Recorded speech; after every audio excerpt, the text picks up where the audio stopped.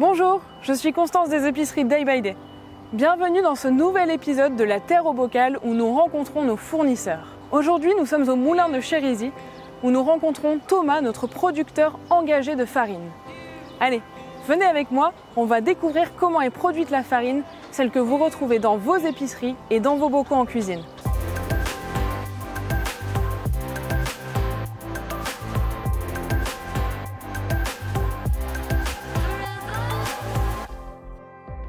Bonjour Thomas. Bonjour Constance. Merci de nous accueillir ici. C'est un plaisir. Pour commencer, est-ce que tu peux te présenter et présenter les moulins Je suis Thomas Moret, je suis euh, meunier.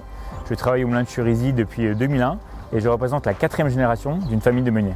Les moulins de Churizy, c'est un moulin, donc c'est-à-dire que nous achetons du blé, nous l'écrasons, nous le transformons et ensuite nous livrons la farine à nos clients.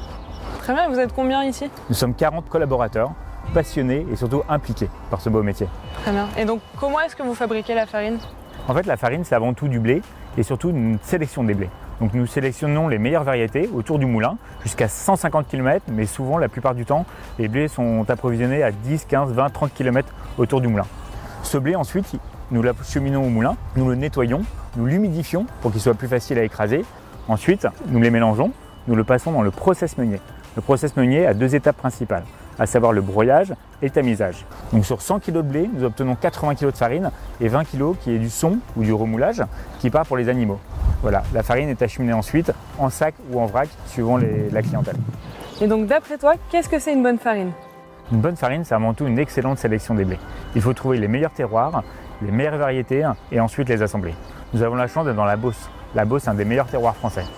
Du coup, moi je connais un petit peu l'histoire, mais est-ce que tu peux nous raconter comment le partenariat avec Day by Day a commencé? Le partenariat avec Day by a débuté tout simplement. Nous sommes à quelques centaines de mètres et surtout nous partageons les mêmes convictions, à savoir le local, les circuits courts. Comme je disais tout à l'heure, nous avons juste les champs autour de chez nous, donc avec un super terroir. Donc nous restons en ultra local. Ensuite, nous partageons les mêmes convictions, à savoir euh, la défense de l'environnement. Nous avons par exemple un site, les Moulins de Brasseille, qui ont de l'énergie renouvelable pour la production. Donc je t'entends un peu parler de convictions. Les nôtres, ce sont la consommation responsable pour tous. Comment est-ce qu'en tant que producteur, vous arrivez à y répondre? Nous, c'est une vraie politique d'entreprise. Hein. Donc ça passe avant tout par nos approvisionnements, donc du blé euh, ultra local. Je parlais tout à l'heure de quelques kilomètres. C'est aussi des initiatives fortes.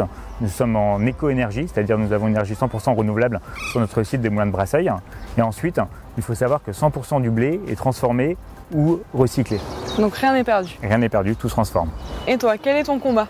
Mon combat est de développer l'entreprise, bien sûr, mais tout en conservant ses valeurs à savoir l'exigence, mais également l'humain. L'humain doit être au centre de notre projet d'entreprise, par l'épanouissement, par la rigueur, mais également par des collaborateurs motivés et impliqués. Donc pour terminer, pour toi, le VRAC, ça rime avec quoi? Pour moi, le VRAC, c'est une démarche d'avenir. C'est une démarche concrète qui permet d'éliminer tout le superflu tout en consommant. Pour moi, c'est l'avenir. Très bien. Bah, merci beaucoup Thomas pour cet échange hyper enrichissant. Nous, on est voisins, donc euh, je ne vais pas mettre beaucoup de temps pour rentrer et on peut se dire à bientôt. À très bientôt. Au revoir Constance. J'espère que cette vidéo vous a plu. Vous savez maintenant comment nous avançons avec nos fournisseurs partenaires vers une consommation responsable pour tous. Abonnez-vous à la chaîne pour de nouvelles vidéos de la Terre au bocal et moi je vous dis à bientôt